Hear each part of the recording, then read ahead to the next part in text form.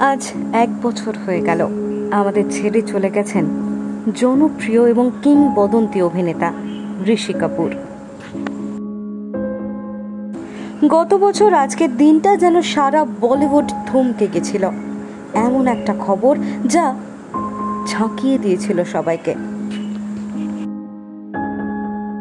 জনপ্রিয় অভিনেতার আকস্মিক মৃত্যু সত্যি দিশেহারা করে দিয়েছিল বলিউডকে।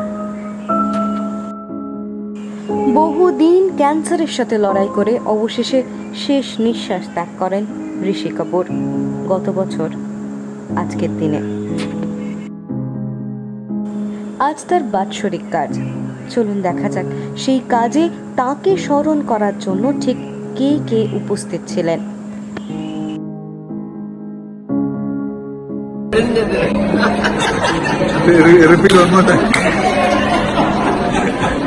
வாழைப்பழம் கொழுக்கொடாத்து அழுகி நழுகி கீழே விழுந்தது கொழுக்கொடாத்து அழுகி நழுகி கீழே விழுந்தது repeat.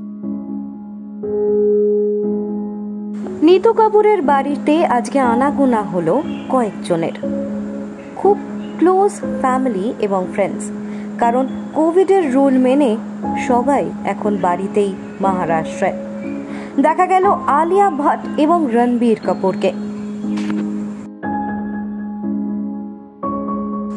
নিতু এবং ঋষির মতো। আলিয়া আর রণবীরের জুটিও এখন বলিউডের হট ফেভারিট। তাদেরকে দেখা গেল আজ বাবার বাৎসরিক কাজে মায়ের সাথে দাঁড়াতে, পাশে দাঁড়াতে।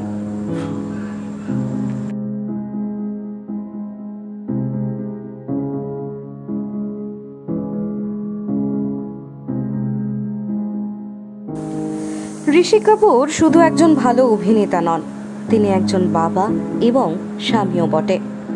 যদিও তার আত্মজীবনীতে তিনি নিজের জীবনে করা অনেক ভুলের কথা লিখেছেন, কিন্তু তারপরে তিনি লিখেছেন সেই সকল ভুল সূত্রে তিনি আবারও তার পরিবারের জন্য বেঁচে থেকেছেন। যা করেছেন তার পরিবারের জন্য এবং আজ তার বাৎসরিক কাজে যখন তার পরিবার তার জন্য একত্রিত হয়ে তাকেই মনে করছিলেন তিনি যেখানেই থাকুন না কেন সত্যি খুশি হয়েছেন